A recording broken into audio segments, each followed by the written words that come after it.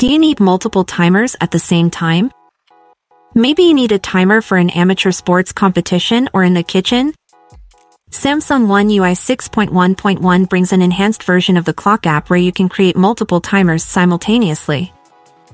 Let me demonstrate. I'll open the clock app. I'll click on the timer option. Now, I'll create the first timer.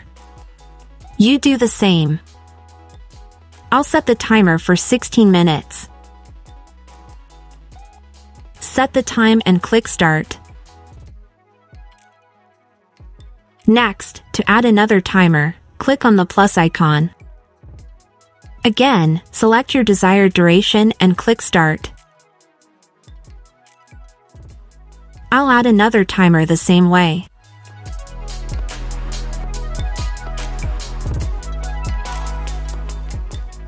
Now, let's monitor them all on one screen.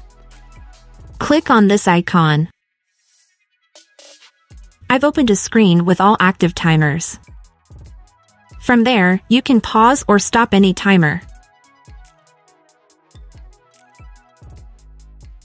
If you want to name one of them, click on it and then on the three dots in the upper right corner.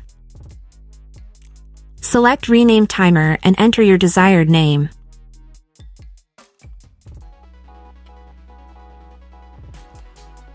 Save the changes.